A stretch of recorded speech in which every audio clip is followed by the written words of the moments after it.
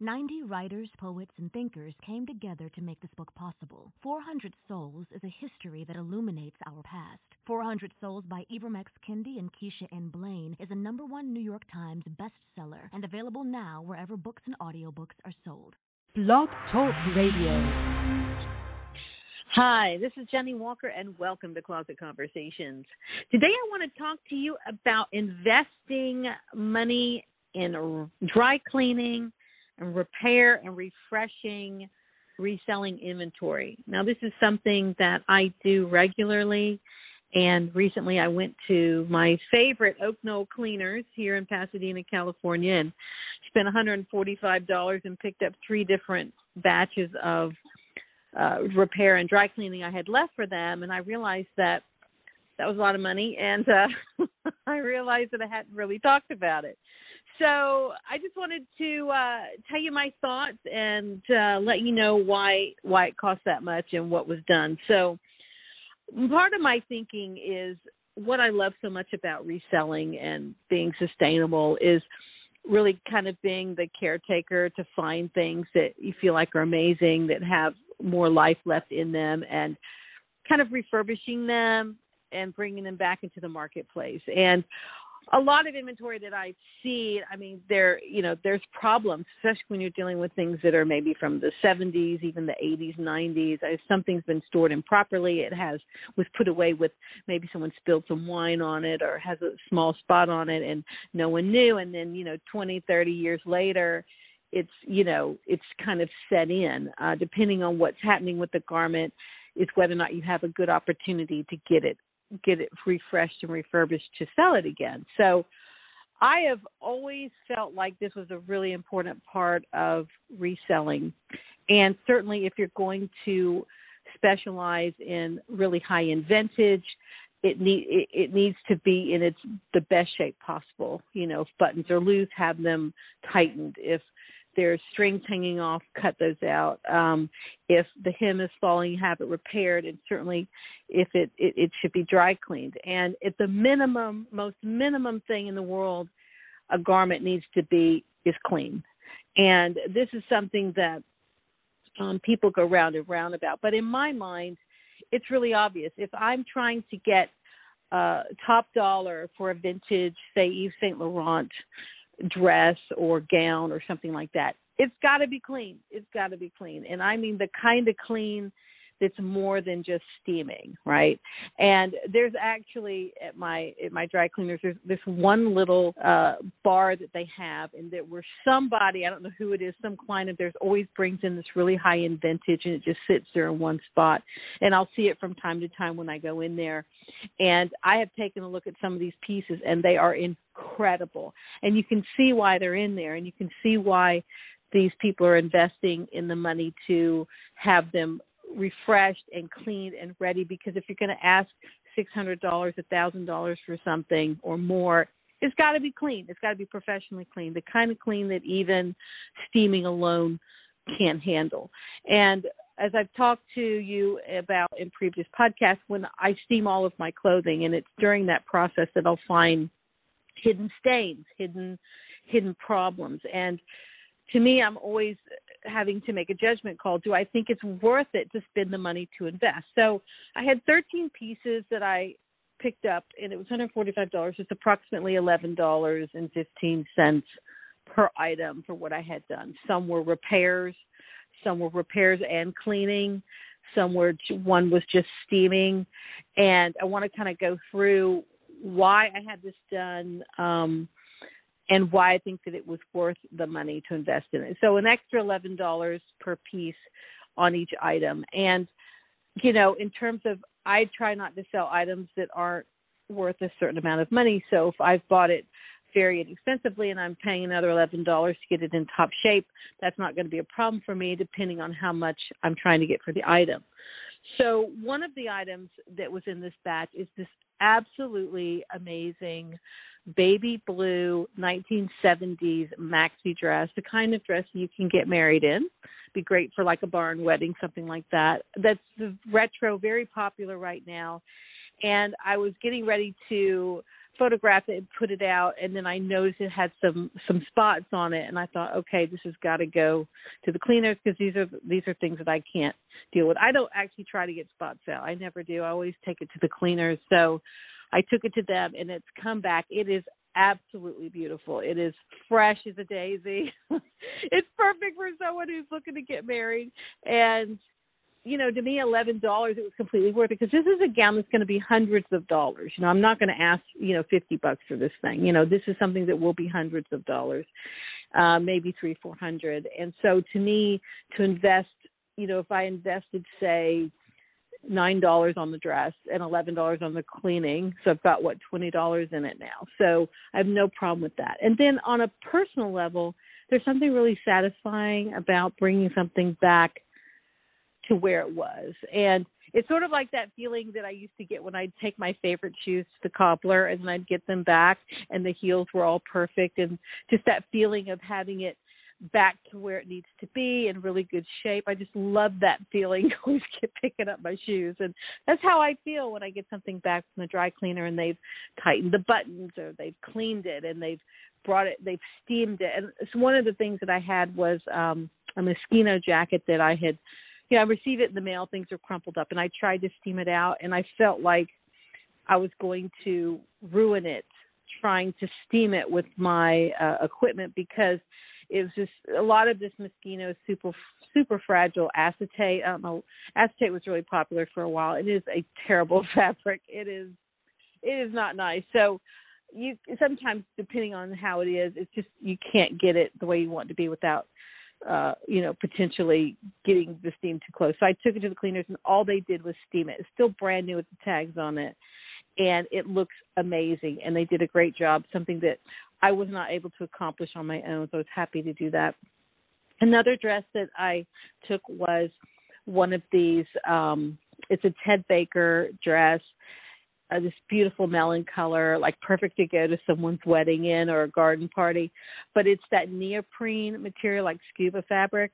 And I have realized that every time I've had something with uh, scuba fabric, they're always able to get the spots out. I had one beautiful dress. I still have it. It's for sale in my Poshmark closet. Um, it was a Ted Baker beautiful dress, and they were able to get it like brand new. So when I took this, I was confident they'd be able to get it clean, and they were.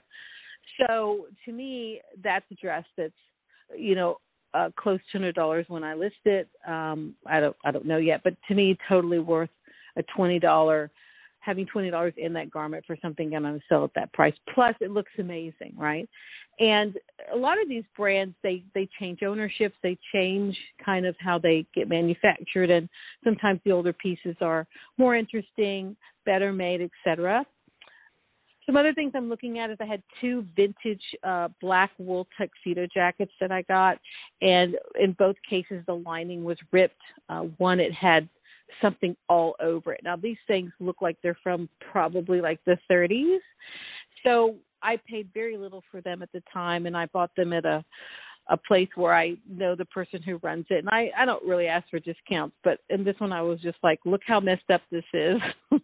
I'm willing to bring it, try to bring it back to life if the price is right. So I ended up paying about seven fifty, seven dollars and fifty cents for these uh, each for these two tuxedo jackets. So that plus uh, the repair cost and the dry cleaning, and one of them looks really good. The other one looks good, but they weren't able to get out one of the spots on the lapel.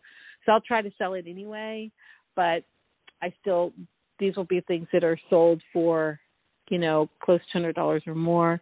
So I have no problem having, you know, less than twenty dollars in each of those. There are three skirts that I had worked on. One was a vintage designer that I really didn't know who it was, and I just liked the design of the skirt. It had uh, some stains at the bottom that I actually didn't notice when I bought it. Had one has a, a flaw at the waistband where the um, stitching has come off or uh, or who knows maybe a moth got to it i'm not sure. But the design was just so adorable. I'm like i'm going to get it anyway and i don't usually get anything with holes in it. And that's really like a sidebar is that i really try not to do that because i keep thinking no one wants it. And every single time i pass on something amazing that has a little hole in it it's always gone the next day when I go back, which means somebody else got it and they didn't mind that it had that. And I think that there's a lot of attitudes about vintage that you know it can have a small flaw on it and people be okay with it right and so I'm i keep coming to terms with that because i keep wanting to not not present something with too many problems in my batch of clothes that i make available i even passed on a super rare um Courrèges um plaid jacket from the 70s but it had I mean, I'm not going to say it was riddled with moth holes, but it had numerous moth holes. So I'm like, I know what this is. I'm going to get the other jacket that has that needs to be cleaned but doesn't have holes in it. So I go back the next day, and of course, the one I didn't buy was gone. And I'm like, who's buying this? You know, I'm scratching my head. Someone wanted it in that condition. These things can be repaired, but not at the dry cleaner. Like you need a specialist who's going to reweave holes and things like that. That's a whole other. This talk museum quality level where people are really, uh, you know, taking it to that level. I'm not quite there yet, but it's fascinating to know that there's still a market for that. And so, I think when sourcing you know, it's kind of a challenge because you're always considering what you're buying in the moment. When I go into a location and I'm there and I'm staring at everything, uh, this is you know in person sourcing versus online. You know, I can look at, I can examine it, and in that moment, I'm really not thinking about all the other things that I've ever bought or that I have at home. It's like in that moment, in that bubble, is this something that I want to to buy and try to resell? And oftentimes I'm drawn to something and I don't know why. And I've got to start paying more attention to it because um, there's like some on a, some other level, there's some information I'm not tapping into that's telling me this is important, this is worth getting. You know, there's something, and usually when I don't get something, and I think about it later, I'm like, oh, that's why that was important. Oh, that's why I was drawn to that, even though I couldn't put my finger on it at the time. And recently, this is a sidebar. I bought this vintage hat from Casual Corner. I mean, we're talking this is a long time ago. I grew up with Casual Corner, and there was a black wool hat with this floral print all over the uh the top of it and it wasn't until after i'd gotten it home because i was having to steam it and uh it's a little misshapen and i realized it was the same print that was in two moschino jackets that i had and i was like i did not even realize that at the time so that's always nice when that works out. So anyway, back to the dry cleaning. So I'm staring at a few other things. I had dry clean. I had a, a vintage Moschino tie that it's actually something that I sourced online, and it was always um, not quite right when I got it. And I took it to them, and they professionally cleaned it. And now that they've done it, I realized that the, actually the tie is um, kind of damaged. So the reason I wasn't able to get it the way it needed to be was because it's got some problems, uh, which I didn't know at the time. Didn't pay too much for it, but I know now that it's been through their process, so this is kind of as good as it's going to get, so that when I list it, I can kind of know that and note that. Um, they were able to dry clean something that I was unable off of. It was this jersey material with this beautiful black leather and silver studded band um, at the bodice. And no matter what I did, no matter using tape, lint brush, steamer, could not get this thing clean. But I knew it would be worth investing money in because it's a very expensive top. And they sell for um, several hundred dollars new. So I took it to them. It looks brand new. They hand cleaned it, and they somehow, by some miracle, got all of that lint off. So I'm surprised I couldn't get the lint off by myself, but nonetheless, they were able to do it, so it was really worth it to me. Uh, one of these, whenever I buy white blouses, if they're cotton or linen, things like that, that need to be refreshed, they have certain things that they can do there depending on what the problem is. They can soak it um, in special solution. Uh, a lot of vintage pieces they do that with. Uh, they can try traditional dry cleaning, but if it doesn't work, there's other things they can do. But I found this one amazing blouse and I took it to them. They were able to refresh it.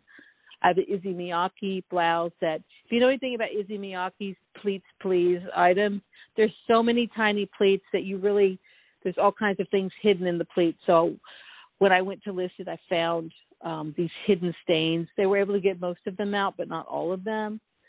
still happy to have tried because you know you get the little sad face on the uh, the dry cleaning when you get it back if they aren't able to get it 100%. But I'll still be able to sell that. I'm looking at a white vintage from the late 80s, early 90s tuxedo shirt in white that had like stains on the sleeve. They were able to lessen it but not get it out. I'll still be able to sell that. Um, one skirt I had repaired where there was uh, somehow it was supposed to be attached in the front and it had had come undone and they fixed that. Another skirt was dry cleaning. Um, so you know, I'm just looking at all of this and you know, each piece it's really kind of nice knowing that it feels good knowing that it's been through the dry cleaning process or the repair process or the steaming process. Um, it's in with all my other inventory. And so I don't have to worry about odors. I don't have to worry about uh, any critters that might have been on the clothes. And I can feel really, really good about listing it and doing my best to get a premium for what I have. So this is just a random example. There's nothing super special in this batch other than this beautiful blue dress from the 70s, which let me tell you looks so great now. Um, that probably is the most interesting piece in all of that. And I love the fact that I've brought it back to life. I love the fact that it's been refreshed. And to me, it just feels great because my attitude is I feel like I'm sort of like an archaeologist who's digging through all this stuff that's out there, trying to find what's been overlooked, certainly what's um, undervalued, and kind of resurrect it and bring it back into the world for a second or third life. And there's something really, really exciting about finding the items and then certainly finding them in odd little places because I've seen all kinds of things in places that they shouldn't be, right? Like one time I was in out of the closet and I came across this ridiculously amazing brand new with tags um uh maxi dress, a floral maxi dress by um Rachel Zoe, uh, 100% silk.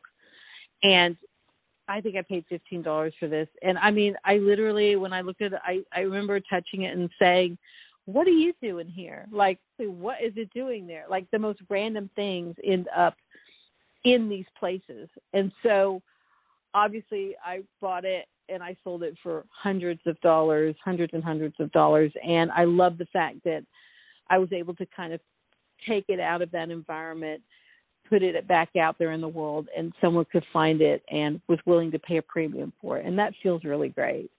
Um, a lot of the vintage moschino that i work with you know the biggest issue that i find with those clothes is that one um, acetate will bleed if it's wet. Um, i've seen certain kinds of materials that that do not do well if they get something on them. I've seen them bleed in my presence, and I am a lot of times the buttons are problematic with Moschino because some of many of them are fabric covered buttons and they have to be sewn through the underside with the fabric and there are times when that fabric underneath basically disintegrates and so you don't have a way to attach the button so I'm always looking for extra buttons so that I can complete the items because they can't be there's nothing they can't be used. Like there's no way to repair it, right? So I mean there probably is a way. so button expert could take off take it apart and put on another piece of fabric, but that's not that's not in my sphere. So I want to take it to the point where I'm replacing that button with another exact vintage button of Moschino and then bring that one piece to where it is. And sometimes when I have a hard time finding a missing button, I'll sell sell it at a discount and it, other people people don't seem to buy. I, I guess I'm the only one who's bothered if there's it has a place for four buttons and there's only three, you know, or one's missing off the cuff. And um that's always disappointing because I really want to put it back into its former glory, which means getting all the buttons in place and uh, putting it back out in the world. But I'm always looking for the parts. I have a spare Moschino button area for once in case I ever need to replace something or one's missing. I can feel like I can go ahead and buy it because I'll be able to get that put back on. I don't even try to sew buttons on do not ask. Do not ask. I'm. Uh, I take it straight to the cleaners. I'm happy. It's a dollar a button, so I'm happy to uh, to spin that, give them the business, and let the professionals you know, bring it back to where it needs to be. In terms of um, shoes, I have also uh, some a lot of times when you're buying uh, shoes or boots in the secondary market, they like to write the price in very obvious places, and oftentimes you can't get it off depending on what what they've used. So to fix that, some of the things I've done is I've had uh, on Western boots, I've had to have a cobbler sand off a layer of leather to get it off, uh, which works really well. I've also um, had to have something completely resold that was Moschino. I had to have the whole thing covered in order because no one could get it off. And I'm like, this is an amazing pair of vintage boots by Moschino. They're super unique, but you know, no one's going to want these boots with a big price written across the bottom. And it's unfortunate that a lot of um, people do this when they're selling at charity shops and thrift shops because people unfortunately take tags off and switch things. So they think that they're doing themselves a favor by writing it on there but actually they're doing a disservice to the item because you can ruin it ruin it to the point where one no one would want to buy it even that's not reselling because the price is written all over the bottom who wants that? Nobody. But two from reselling you've got to find a way to get it off or you're going to have um, a harder time giving it a new home because it's also kind of hard to ask fifty dollars for a pair of shoes that has you know seven ninety nine written on the bottom. So you know it's always like a push pull. So anyway, uh, I have a great relationship with the dry cleaners here in Pasadena. Um, I've been going there for over five years. Um, they have managed to get things in amazing condition, and I'm just so pleased with what they've been able to do. And I love the feeling of having something fully refurbished and really brought back to life because so many times in this business, things are not in the condition that they need to be. Oftentimes that they are. Often like you can still find it new with tags. You can find it in amazing condition. And that's really one of the challenges that we have in finding things to resell is what's the condition and what are you willing to do about the condition or to bring it back there? And i just love it when i've gone through the trouble to refurbish it bring it back to glory and watch someone else buy it love it and enjoy it and give it a new home. And that is a wonderful feeling. So for me i have no problem spending $145 or in this case uh, $11 per garment to have it either repaired dry cleaned refurbished or both uh, I just think it's uh, an investment. So now you don't want to do that on every single piece. I certainly do not dry clean and have this done on every piece that I uh, purchase for reselling. Uh, my steamer that I have does a terrific job of fixing most of this. Um, so that is something that I do use. And if you're looking for a steamer, um, there is a link to um, to where you can get one through uh, C'est La Vie, which I know the owner of that company. They have a you can get uh, just my special code and get free shipping and I think 10% off any order. That's on my uh, link in my Instagram page. You can do that. So that is something that I'm always doing. It's is investing, investing time, investing money, and bringing these pieces back because it feels great. It feels absolutely wonderful to do that. And so yeah, so that's how I feel about it. I feel like it's a wonderful thing to do is to invest money in certain pieces to bring them back to their former glory and put them back out into the world because this is the new retail and that's just a satisfying thing to do for me. And hopefully you'll consider doing that for yourself and not walk by a piece that needs a little uh, work. And obviously the more special the piece um, the more you'll feel like that work will be worth it for you. And that's it. This is Jennie Walker with Closet Conversations. I look forward to having you with me on a future episode.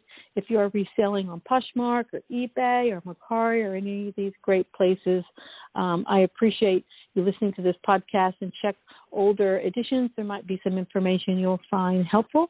And if you'd like to be in touch with me, feel free to reach out to me on Instagram where I check all my messages at JennieGirl's Closet. Thank you so much and have a great day. Amazon is hiring near you, looking for team members who know that their work is important and that every package matters. Find a job that fits your life with competitive wages, reliable hours, and benefits. Let's work together, from boxing it up to sending it on its way. Every step offers a different role and schedule. So, are you ready to work together in your community? Visit amazon.com/apply to see what's available. That's amazon.com/apply. Amazon is an equal opportunity employer. Amazon is hiring near you, looking for team members who know that their work is important and that every package matters. Find a job that fits your life with competitive wages, reliable hours, and benefits.